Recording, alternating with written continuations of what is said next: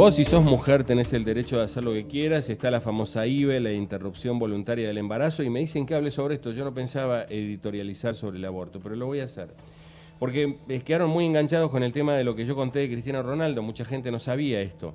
Hay una biografía que se llama Madre Coraje, la mujer, es decir, la mamá de Cristiano Ronaldo, habla de cómo fue el embarazo del jugador de Real Madrid y los años posteriores criando a sus cuatro hijos. Les quiero contar esto para que ustedes lo tengan en cuenta o no. Yo lo comento. María Dolores Aveiro es la madre de Cristiano Ronaldo que ha publicado un libro que se llama Madre Coraje, su autobiografía, y la razón en sus páginas habla del momento en que la mujer supo que estaba embarazada de Cristiano, afirmando que intentó abortar desde aquel que era ya su cuarto hijo. No tenían dinero, eran absolutamente pobres. No sabía esta anécdota que la voy a compartir con ustedes. La mujer relata cómo el médico le negó el aborto y la mujer intentó otro tipo de remedio sin solución. Es decir, ella intentó abortarlo. Lo intentó, por más que el médico le dijo que no. Hasta aceptar que el niño tenía que nacer. Dice ella que tuvo como una iluminación, ¿no es cierto? Eh, María Dolores tuvo como una iluminación y dijo, yo, bueno, no lo voy a hacer, no voy a abortar.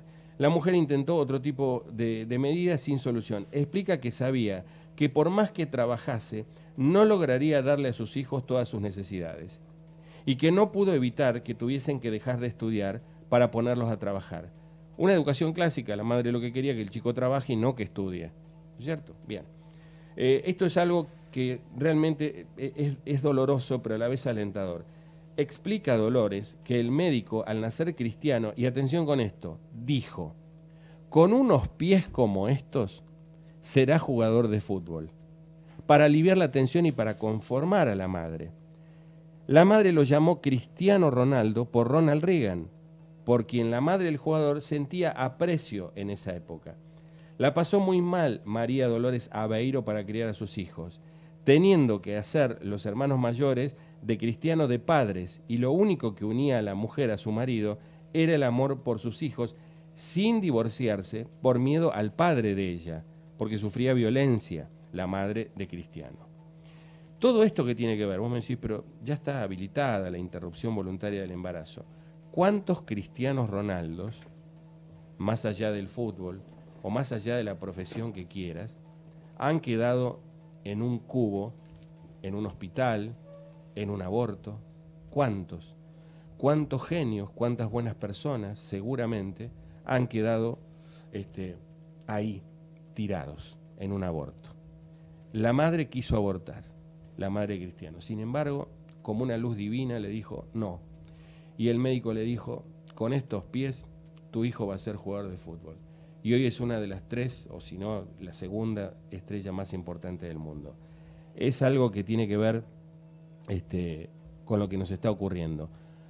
¿Cuántos cristianos Ronaldos? ¿Cuántos cristianos Ronaldos quedaron en el camino, en una cubeta, en un cubo, en un consultorio o en una abortera clandestina, más allá de que vos tenés el derecho por la interrupción voluntaria del embarazo de hacer lo que te plazca. Me parece pertinente decir esto de Cristiano porque es alguien que conoce, lo conocemos, lo hemos visto un montón de veces, y la señora mayor que está delante, que está siempre con él, él va con su, con su esposa, va con su hijo, y la señora mayor que va con él, él purgó eso con ella, y dijo, mamá, te quiero, te perdono, la ama a su madre, le da la vida a su mamá y la lleva por todo el mundo. Nada, una pastillita que no tiene que ver con editoriales tradicionales, pero me pedían más datos de María Dolores. Si querés comprar el libro, se llama María Dolores, Madre Coraje. Y vos, como adolescente, como mujer, tenés derecho a hacer lo que te plazca. Simplemente te cuento lo que pasa cuando no se aborta.